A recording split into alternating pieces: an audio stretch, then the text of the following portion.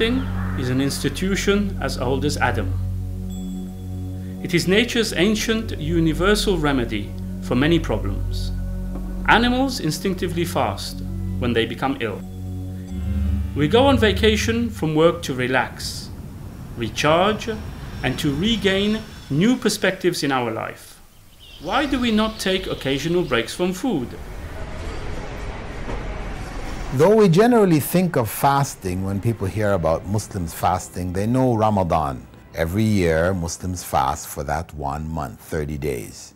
However, that is the obligatory principle of fasting. But this period of fasting doesn't represent the totality of fasting in Islam. The principles of fasting, because they address so many different aspects of human psychology, physical needs, material needs, their emotional needs, this is not restricted only to one time in the year. And that's why the principle of fasting in Islam includes the whole year. Socrates, Plato, Aristotle, and all three fathers of Western medicine, Hippocrates, Galen, and Paracelsus, practiced and believed in fasting. On behalf of the American people, including Muslim communities in all 50 states, I want to extend best wishes to Muslims in America and around the world. Ramadan Kareem. Ramadan is the month in which Muslims believe the Quran was revealed to the Prophet Muhammad, beginning with a simple word, Ikra. It is therefore a time when Muslims reflect upon the wisdom and guidance that comes with faith and the responsibility that human beings have to one another and to God.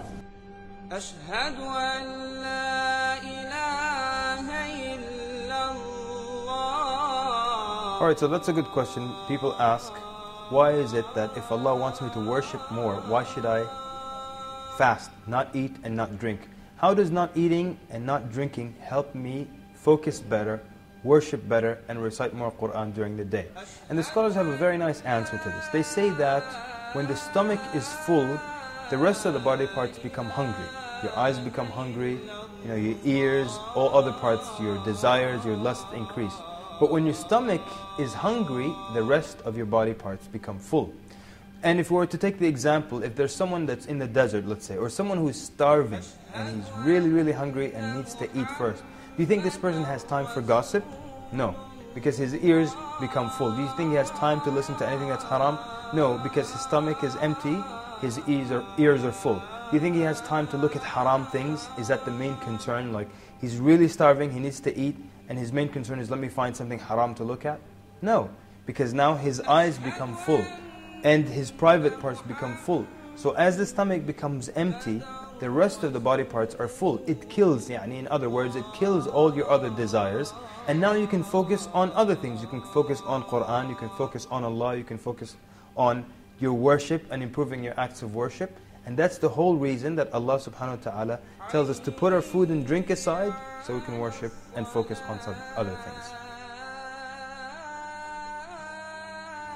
A lot of people, they're fasting. And a lot of people, if you ask them, what is the definition of fasting?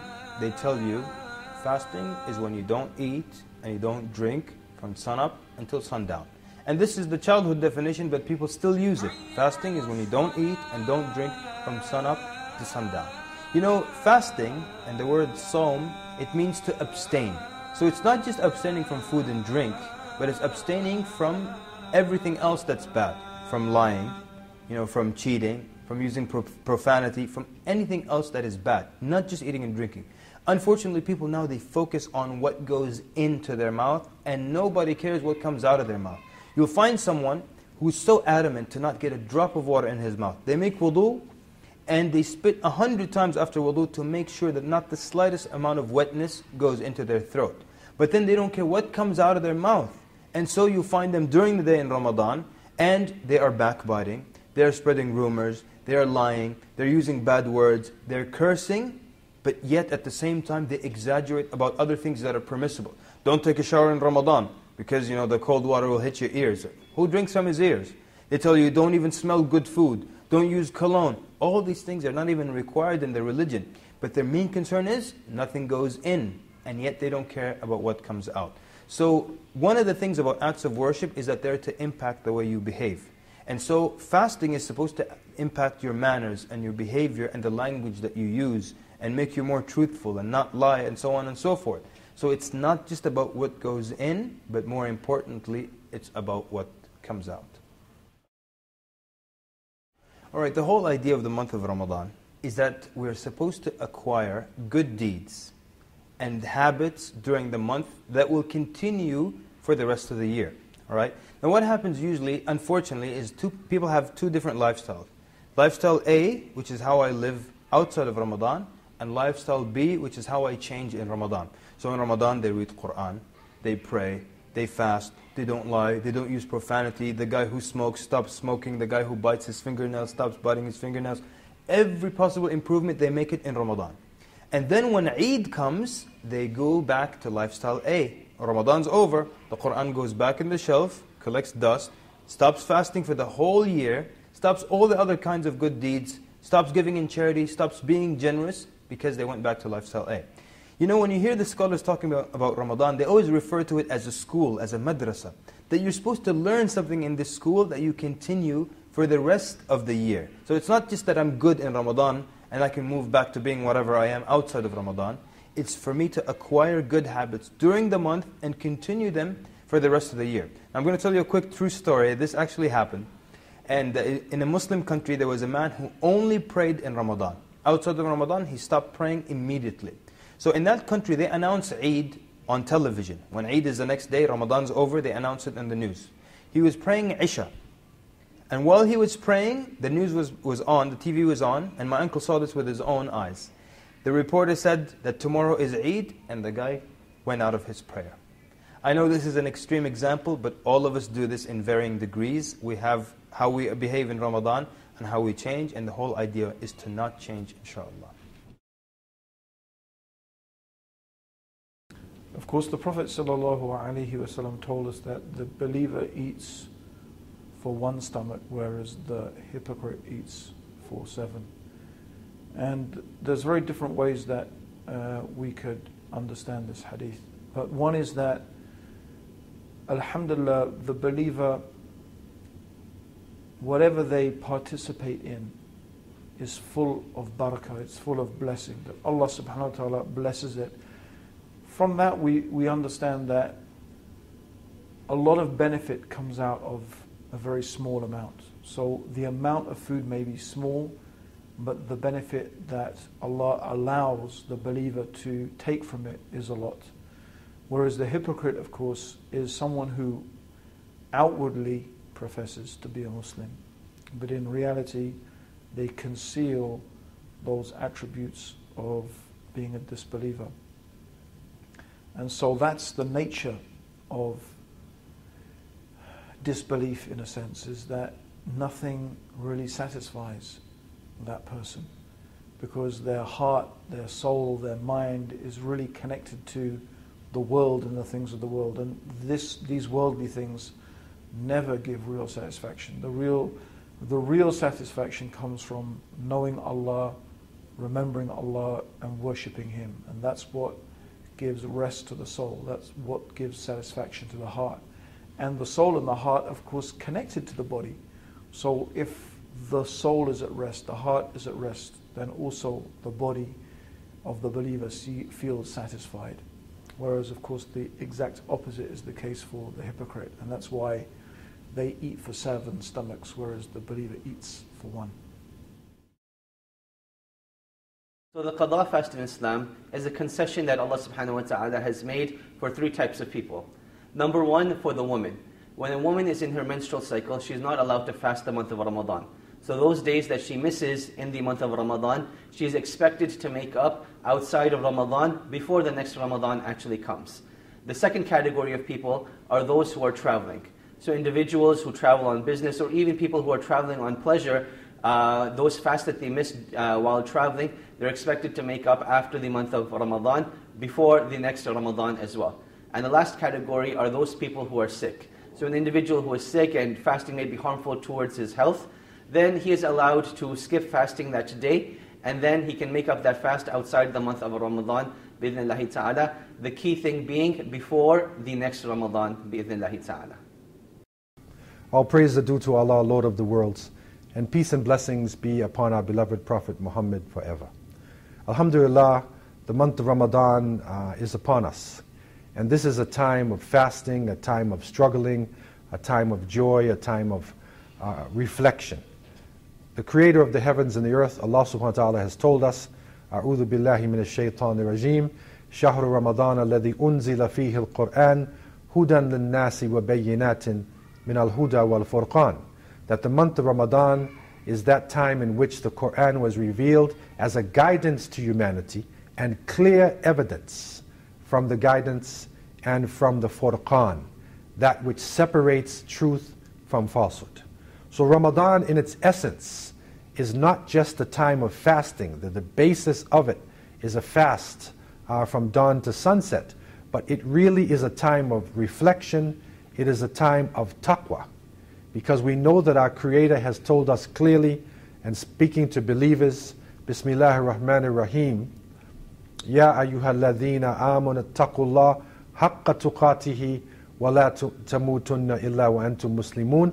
Allah told us, O you who believe, you know, fear your Lord in the way he should be feared and do not die except in a state of Islam. And that it is through this month we are able to fulfill our Islam. And the essence of the month is not just physical, it is taqwa. So, in a sense, that you know, through the, the, the, the uh, gaining of the consciousness of Allah, we are able to uh, fulfill our Islam. And so, this month is really um, a, a, month of striving, it is a, a month of spirituality, uh, it is a month in which we're able to improve our lives and to, and to come together with our brothers and sisters throughout the world uh, in this beautiful fast and to really uh, increase our taqwa, to increase um, our level of Islam, and inshallah we can gain success in this life and the hereafter. The relationship between fasting and controlling one's desire is a very direct and correlated one. If you were to look at the advice of the Prophet ﷺ and the advice he gave to the young men who were unable to get married, he advised them to control their desires through fasting. And the wisdom behind this is that an individual who is thinking about food will not have time to think about his other desires. So therefore, when one is hungry and feeling thirsty, this is a natural instinct that Allah subhanahu wa ta'ala gave us, and it overpowers the other desires. So by keeping oneself hungry and by keeping oneself thirsty, one won't have time to be distracted by other desires. And this was the advice of the Prophet ﷺ. So fasting, it helps controls one's uh, physical desires as well as other desires as well. And this is what we hope to attain through the blessed month of Ramadan. That one controls their physical urges through the day and is allowed to fulfill them during the night with their spouses, bi'idhnillahi ta'ala.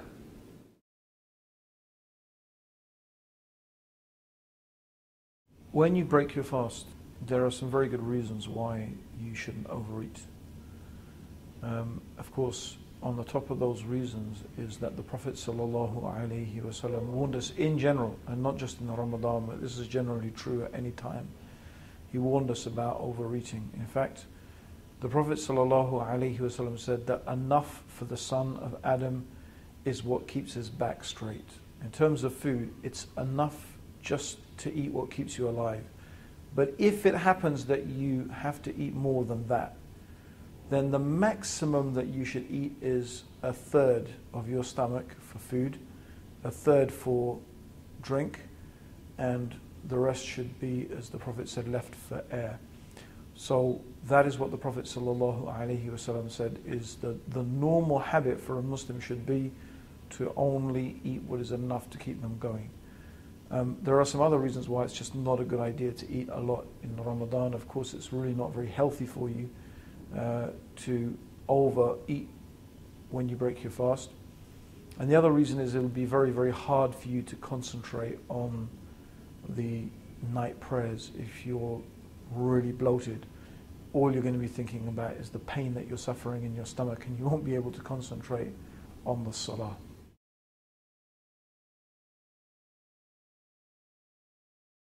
Bismillah ar-Rahman ar-Rahim, Assalatu wassalamu ala Rasulullah wa ba'd. Um, Laylatul Qadr is the night of power and destiny.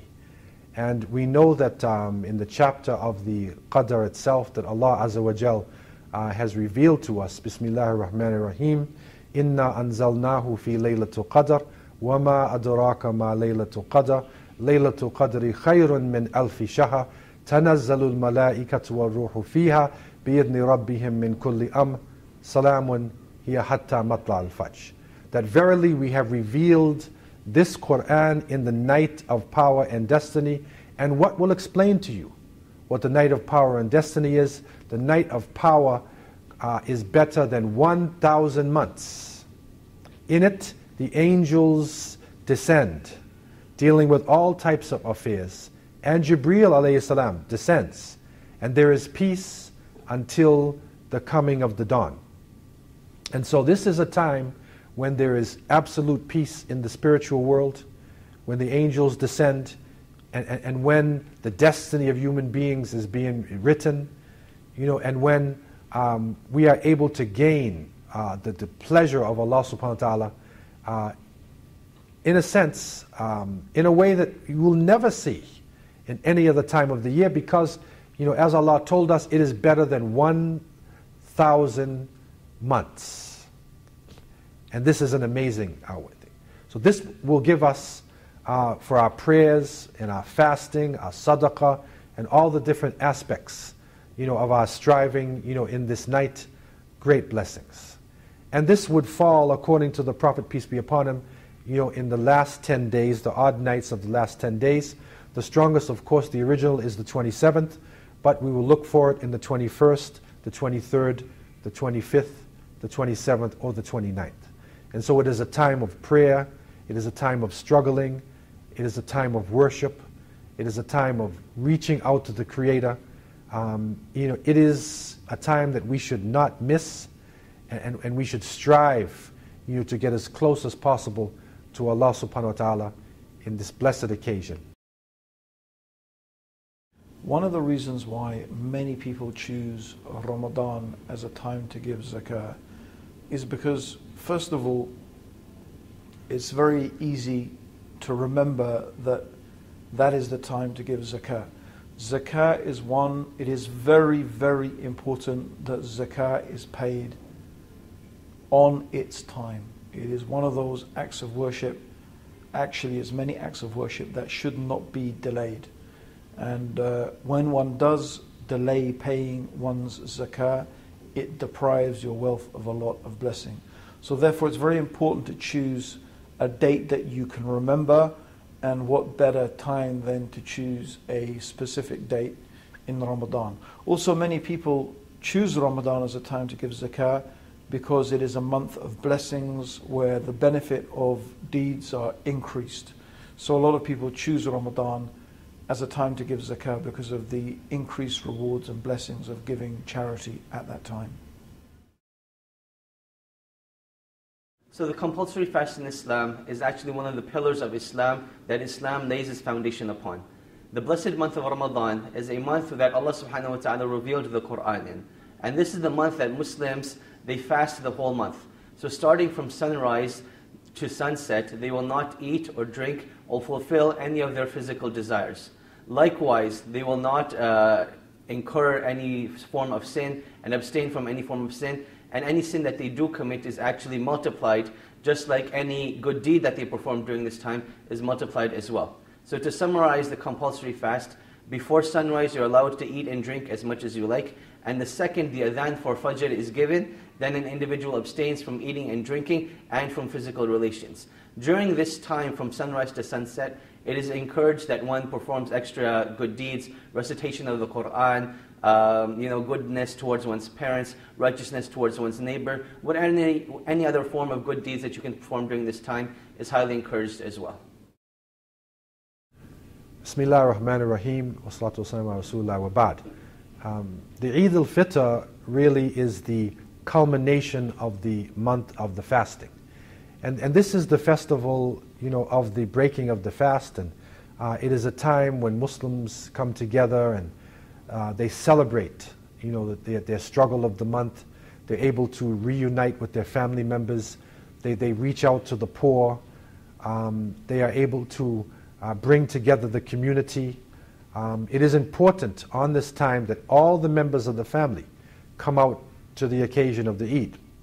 And the Prophet ﷺ would pray in the Musalla and he would ask his companions, even young uh, girls, you know, um, on their monthly courses, come out, you know, to the Musalla. It's not a masjid.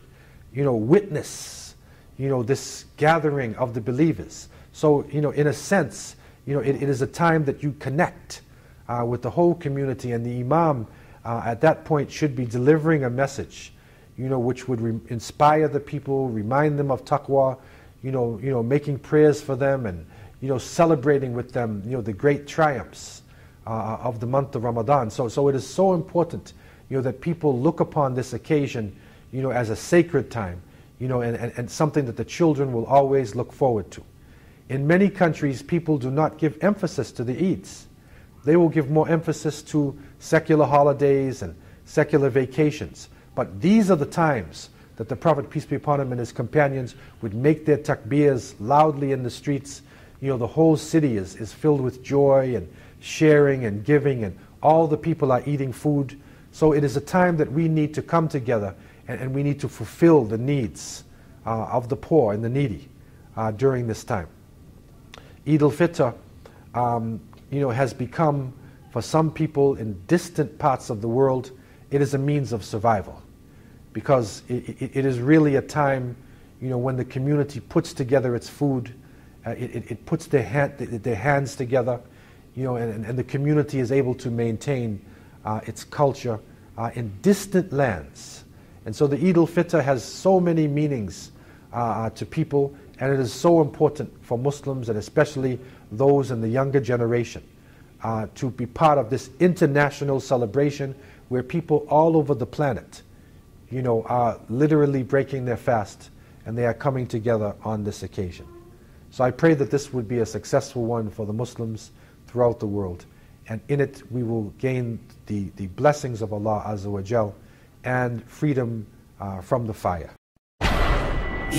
On the outside, everything looks good. You see the hundred thousand dollar cars. You see a lot of diamonds. You see a lot of females, and they think that this is, you know, this is the life. This is this is like you know, paradise right here on earth. It's not anyone's job to go into someone's heart and change their heart. Your job is to tell people what the truth is. And the reality of it is, while we're sitting here, while I'm sitting here constantly paying for the disease, the cure was free.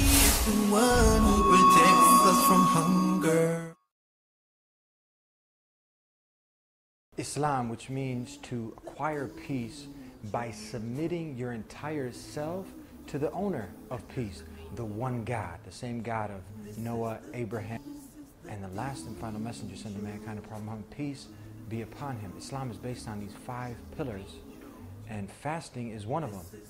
But before we can get to even fasting, you've got prayer, and you also have the main pillar, which is to worship none but the one God, to worship the same way all the messengers of God worship. They didn't worship men, monkeys, saints, and elephants.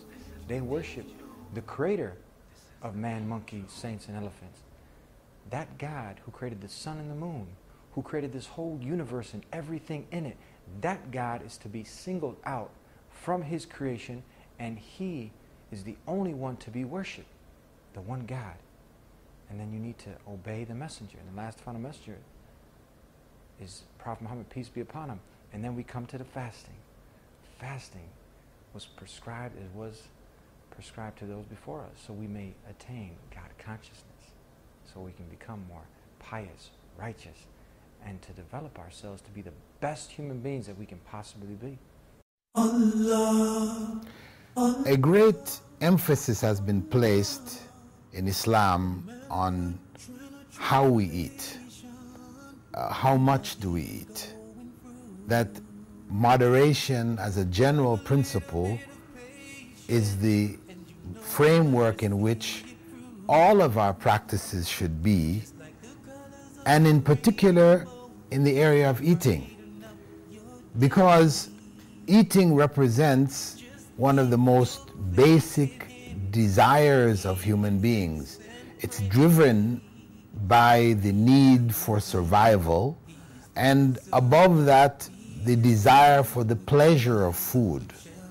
This is a, a great uh, pressure that all human beings face, which is fed, of course, by the media, uh, the lovely foods and things that are prepared, there's huge businesses and everything behind it, all of which which drives people to overeat. Whereas from an Islamic perspective, keeping our uh, principles applied in our daily lives requires that we eat in moderation. And Prophet Muhammad, may God's peace and blessing be upon him, did address this 1,400 years ago. He spoke about this concept and he said that the believer eats as if he has or she has one stomach. The disbeliever as if they have seven.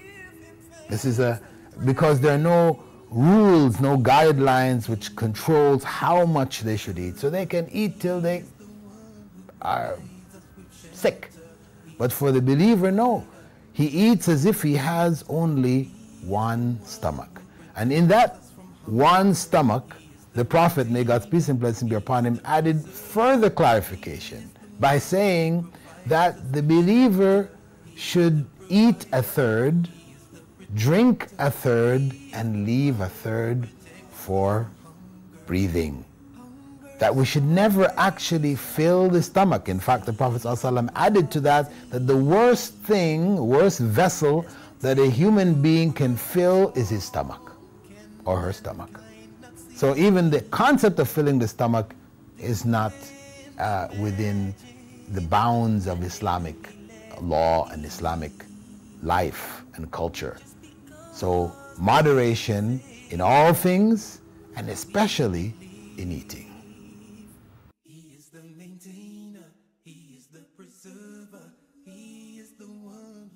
Even after the month of Ramadan, the Prophet, may God's peace and blessings be upon him, had recommended for Muslims that they fast an additional six days from the month after it, known as Shawwal. Any six days. This fasting, the Prophet recommended, may God's peace and blessings be upon him, saying that one who fasts for these six days, along with Ramadan, gets the reward of fasting the whole year. Because in general, general principle in Islam is that one day of fasting or one good deed is equal to 10. So 30 days is 300 days. Six more days makes 60 days, 360 days, we've covered the year. Also, besides that, Prophet Muhammad recommended that we fast every Monday and Thursday. Uh, every Monday and Thursday of every week. He also recommended that we fast the 13th, 14th, and 15th of every lunar month. These are the days of the full moon. And also the 10th of Muharram, the first uh, month of the lunar calendar. On the 10th, we're recommended to fast. So the principle of fasting is something which continues throughout the whole year because the benefits that one stands to gain from it are not limited to only a particular time of the year. So in Islam, fasting is a way of life. The month of Ramadan is the month which we are fasting. But why Ramadan? Why this ninth month? Why? Because Allah, God Almighty, stated in the Quran, شهر رمضان الذي أنزل فيه القرآن the month of Ramadan in which the Quran was revealed. So Allah has linked the revelation of the Quran with Ramadan. This was a blessed month. This is where the final revelation of God to humankind began. As such, that month was given the special status to be the month of fasting. So, Ramadan is a month of Quran. This is how Muslims generally look at it. And that's why you find that Muslims will try to read the whole Quran during this month. Although reading of the Quran should be throughout the year, but especially in this month, it was the practice of the Prophet, may God's peace and blessing be upon him, to recite the whole of the Quran from beginning to end during this month. People learned the Quran from him in this way, they memorized it, they wrote it down in this period. So this month has the special significance, the special importance in that the Quran, the final revelation of God to man, took place in this month. The main purpose of fasting in Islam has actually been defined by God in the Quran. It's not left up to human beings to philosophize as to why do we fast. Allah very clearly said in the second chapter of the Quran, كتب عليكم الصيام كما كتب على الذين من قبلكم لعلكم تتقون. Fasting has been prescribed for you as it was prescribed for those before you in order that you be conscious of God, that you gain what is called taqwa. Taqwa meaning an awareness and a consciousness of God. So, this is the main goal of fasting. How is that achieved? When one becomes hungry, what is the relationship between that and God? One could say, well, you become hungry, you're concerned about food. That would bring you closer to food or being more concerned about food. But no, because of the fact that people are choosing not to eat food. Of course, if you're, if you're hungry because food is not available, then your main concern is going to be food. When you decide yourself not to eat, now you're not eating because this is a commandment of God. And who knows whether you eat or you don't eat? Only God, because you can always slip away when people are not watching you and eat something. You can have things in your pocket, things in your office. People don't know. Uh, apparently, you're fasting, but in fact, you're not. So, therefore, this is something. What stops you from fast, from not eating, is your consciousness of God. So, this heightens your consciousness. As you have the desire to want to eat, you remember you've made this commitment to God. So, this helps to bring you closer to God and be to be aware of God throughout your life. I mean, this is the goal. This is the main goal to be conscious of God. Because the goals of fasting, the main goal of fasting is consciousness of God, it makes sense then that this principle must have existed with the religion of God from the very beginning. When God prescribed the religion for the first human beings, Adam and Eve. Part of that prescription would have been fasting because the need to be conscious of God is not something which only came along, you know, 1,400 years ago. How many thousands of years after the time of Adam and Eve? No, that is a need which existed right from the very beginning. And that is why past fasting has been prescribed all along. And this is what Allah has stated in the Quran, كما كتب على الذين من قبلكم, as it was prescribed for those before you. And that is why we find in Judaism, in Christianity, fasting existing. Even in Hinduism, Buddhism, in the various other religions, it's there. Our belief, of course, is that the origin was one religion, Islam what we now know as Buddhism or Christianity or Judaism, these were uh, deviations and we could say a corruption of the original message. What was retained in that corruption is fasting. But the original message was one. The religion of Adam was Islam, so was the religion of Moses, of David, of Jesus, of Muhammad. May God's peace and blessings be on all of them. Fasting benefits on a variety of different levels. On the ritual level, uh, where a person just fulfills the basic requirements of not eating from dawn until sunset, there is an element of discipline there. that one disciplines one's life. When one takes a hold of one's life and sets a period of time when they're not going to eat, it gives them a sense of control. This ritual practice gives them a sense of control over life. And this is something important because for a lot of people, when they fall into depression, it is a result of them feeling that life has slipped out of their hands, the control over their lives lost.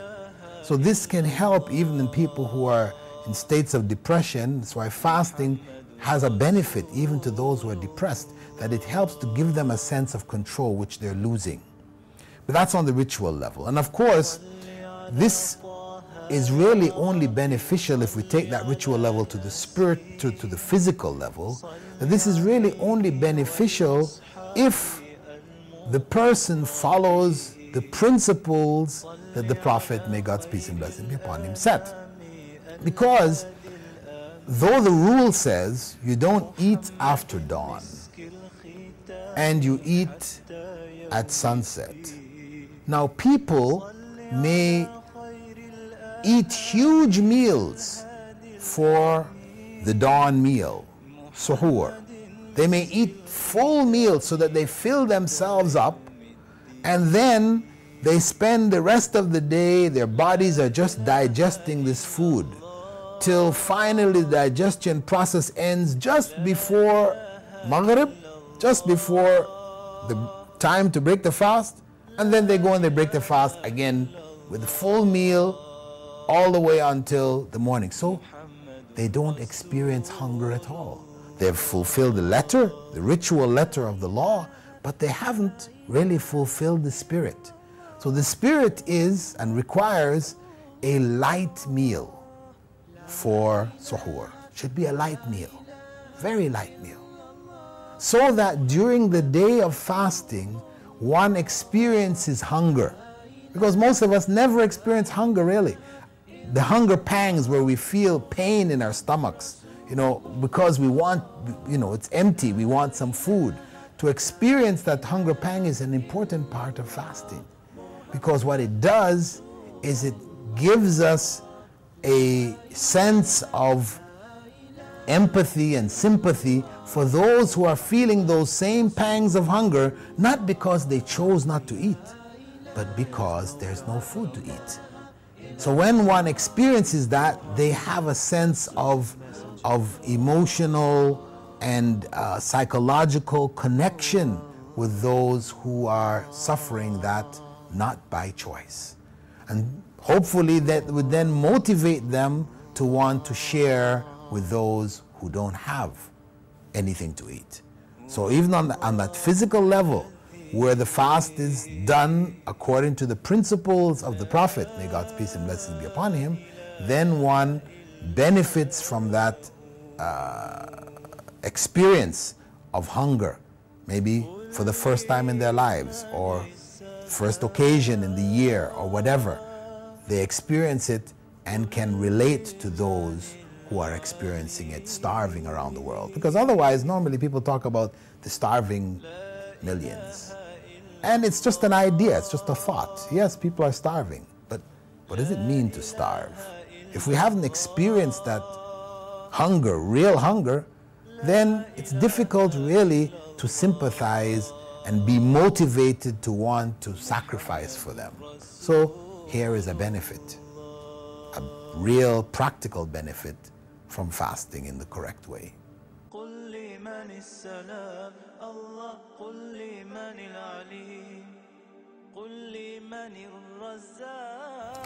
Another of the benefits that come actually from the physical level of fasting, as medical experts have pointed out, that when a person fasts, it affects the endomorphin system in the body. That it causes the brain to produce more endomorphins, which are the basic elements which cause us to feel good. You know, where we uh, feel a sense of well being. This is from the production of endomorphins in the system. Fasting causes the body to produce more.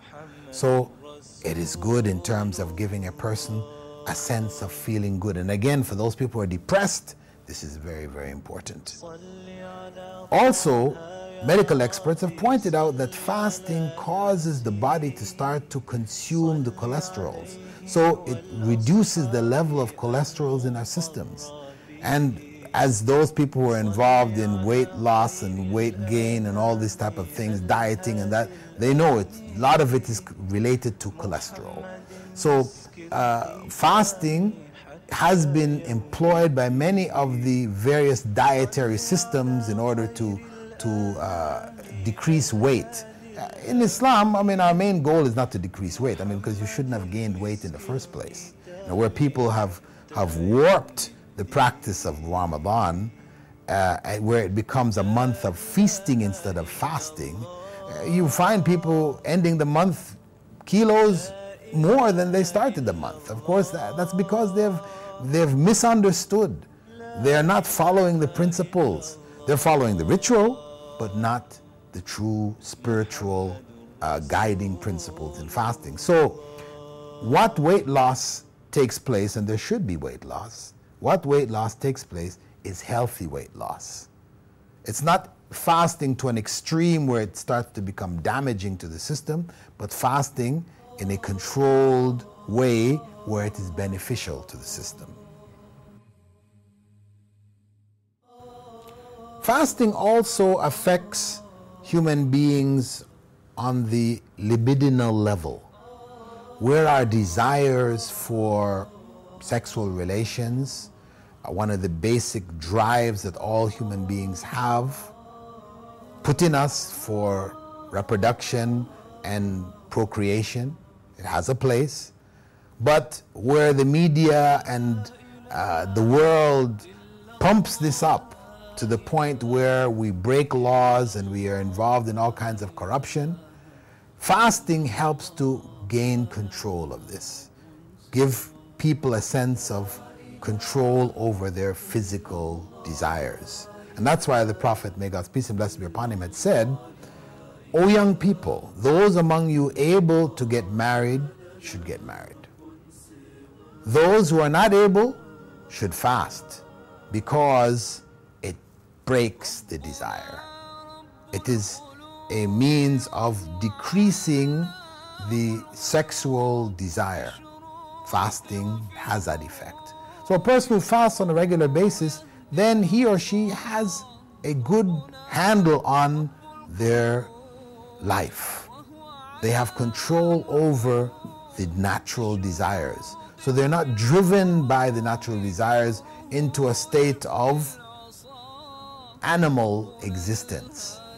Unfortunately, this is what has happened to much of the world, where people are just driven by desires. So fasting helps to put desires back under human control, especially sexual desires, because of course we know fasting is not permitted, uh, sexual, sexual relations is not permitted during the daylight hours of fasting.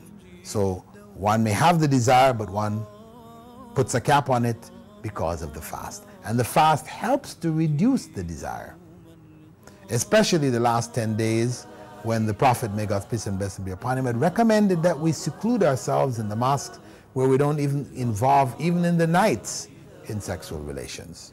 So one third of the month, we're encouraged also to leave it altogether, just for that period to gain a greater sense of control over one's desires. He is the maintainer. Coming to the truth requires two things. It requires deep thinking that you've already done, but it requires another step, and that's courage. If you have the truth, but you don't have courage, you won't stand up for the truth. And that's as good as standing up for falsehood. I, I would say this thing that you just told me, it's not in the scripture. And they would say, a marginal note added by a scribe, yeah, okay, we know that. And I would be thinking, if you know this is not the Bible, why are you preaching it as if it's gospel truth? Us from hunger. Fasting also has an emotional dimension. Among the biggest or greatest uh, drives that we have in an emotional level is anger. Um, and we express our anger by speaking ill of people by shouting, by you know, a variety of different ways. Fasting helps us to gain control over it. Because the Prophet, may God's peace and blessing be upon him, had said that one who doesn't control his tongue or her tongue, so that they are backbiting, telling lies, screaming, shouting, etc., then he said, God has no need for their fast. There's no reward in that fast. So if one is not able to control one's emotions during the fast, then in fact one has nullified the value of the fast. So the fast challenges us on a variety of different levels. And this emotional level is a very critical level because isn't it where emotions go crazy, run awry, that we end up killing, hurting, screaming? The, a lot of the, the crime or the, the, the uh, abuse or these kind of things that happen in society, it's coming from on an emotional level. People who lack control over their emotions. So fasting addresses this topic, this issue directly. If one is serious about fasting, then they must put a handle on this. And fasting during this blessed month of Ramadan, the same way that all the messengers of God, they all fasted. But they also worshiped one God. They didn't worship multiple gods. They didn't worship a triune God. They didn't worship a man God. They didn't worship a monkey God. They didn't worship dead people in graves. They didn't call upon saints and idols. And, you know, it was the same way of life. That way of life that called a person to acquire peace by submitting yourself entirely to the owner of peace. Who, the owner of peace, is the one who created this whole planet, you, me, who created Jesus, Moses, and the last and final messenger sent to mankind, the Prophet Muhammad, peace be upon him. They all worship the Creator and not what He created. And they all prayed the same way we're praying, falling on their face. We fall on our face, we prostrate to the one God, not to His creation, and we fast. And we fast because that helps us in so many ways. So many ways. There's so much wisdom behind it. You feel what it is to be hungry. You develop yourself to have better character, better manners, and so many other wonderful things. On a psychological level, fasting plays a major role in training the human being in principles of patience. We're living in a society where immediate gratification is a premium. Everybody puts a premium on it. You want to be to find whatever you want immediately. Whatever you desire, it should happen now. This sense of immediacy that we have, which is urgency. So fasting helps to settle things back down, put it in its proper place. Be patient. Be able. This is this these are good life. Uh, we could say life skills. You know, emotional psychological life skills which everybody needs to develop. Fasting promotes it because there is no immediate gratification. You fast, you have to wait till the end of the day before you can eat. You know, so it teaches you to delay.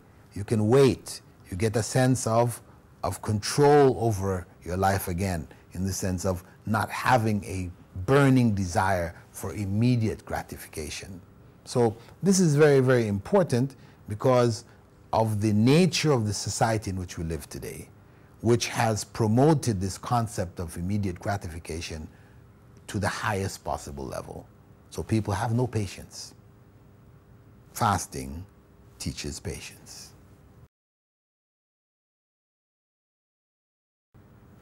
Among the things which people are often plagued with is the desire for the things of this world that we become so attached to life in the sense of the material life that we can't find a sense of contentment. We're always after this and after that and after the other. When we've gotten this, then we want that. When we've gotten that, we want the other. We, that's life. We're just driven, running from pillar to post after the material things of the life.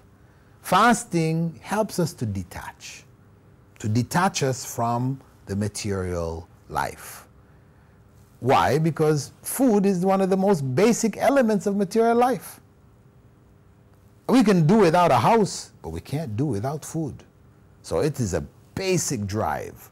So where we're able to put it aside, this helps us to detach ourselves from the worldly life. So it doesn't become the be all and the end all for everything. That there are some things which are higher and greater, spiritual issues which go beyond who we are, who is our creator, what is our relationship with that creator, what is our purpose here in life. These are bigger questions that we need to address. And we don't need to be blinded by our needs and our desires for the worldly life, where we lose track of the more important aspects of our life. So, fasting then helps us to detach. Not to detach ourselves totally, because of course this is suicide. We're not trying to kill ourselves when fasting. No, we are only trying to reduce our attachment. And that is very, very important for us to really find contentment in this life. Fasting also addresses a spiritual need that we have, which is salvation from sin. One of the ways and the means by which we can remove sin from ourselves is through fasting. The Prophet, may God's peace and blessing be upon him, had said that whoever fasts Ramadan sincerely, Allah will forgive their previous sins. So it is a means of erasing sin. It doesn't mean, of course, that people say, well, okay, I'm going to be a sinner for the next uh, 11 months. And uh, when Ramadan comes along, I'm going to be a good Muslim and fast. And so my sins are all forgiven and I can be a sinner for the next 11. No, no. it doesn't work like that. Because if we are deliberate sinners for those 11 months, with the plan to remove the sin during Ramadan, what's going to happen is we're going to be sinners in Ramadan. It's not going to do the job. This is about sincerity. Whoever fasts Ramadan sincerely. You can't fast Ramadan sincerely and then plan to sin for the next 11 months. this just doesn't go together. I mean, on paper you can put it down or you can say it, but reality is not the case. So, a person who, as human beings, we commit sins, we have errors, we try to turn back to God, seek His forgiveness, etc., throughout the year. In this month where we sincerely fast, it helps to erase whatever we were unable to erase. If we're sincere, sincere with the fast. So it has this purifying quality to it. Fasting in Ramadan erases the sins of the previous. So, on this level, on the spiritual level, fasting plays an important role in giving a person a sense of becoming pure, removing from oneself sin, corruption, and evil, moving towards goodness. This is a spiritual need which we all have. And the Prophet, may God's peace and blessing be upon him, had said that one who fasts through Ramadan and didn't get his sins erased, he has played with the fast. The fast is not a real fast. This is an opportunity which a person has which no one can afford to let go. So it's very important for us when we go into the fast of Ramadan as Muslims, we should be very sincere and very careful about this month. As non Muslims, of course, a person is not obliged to fast this month, but to experience what it is like, I would encourage you. Find out, experience, and see the benefits that can come from it. Fasting is prescribed by God for all of humankind. Only Muslims are really doing it now, but it was prescribed for all of humankind. Islam is a religion which puts great emphasis on communal worship, that we worship God together. We see it in our daily prayers. We gather together in the mosques and we pray. The Hajj, where people gather together and make pilgrimage to Mecca. Fasting also is a collective act of worship. We fast together. Though individually it's between the individual and God. In the end, it's all man and God, woman and God, you know, and as an individual, we have to reconcile ourselves with God. But that individual act is strengthened and supported by the collective participation of the society as a whole.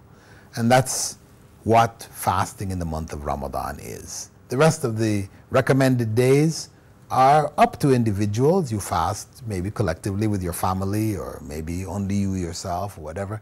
But at least once in the year for that full month of Ramadan, the whole of the Muslim world fasts together.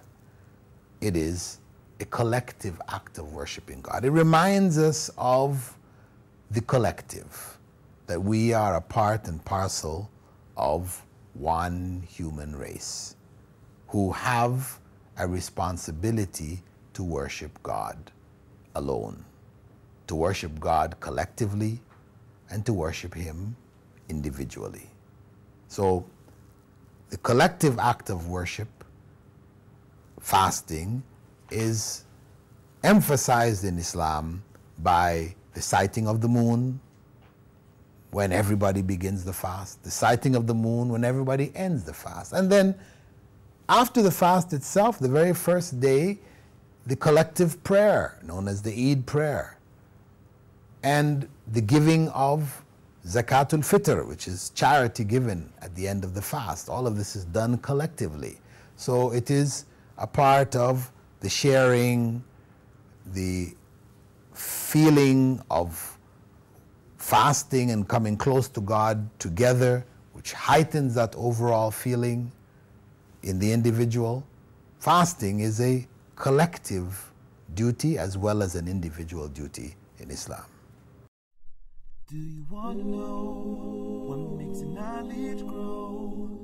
Then everybody watch Deen Show. Deen Show. Are you ready? Your host is Eddie. If there is something you want to know, if there is something you so want to know, sit right back and watch the Deen Show. The Deen Show.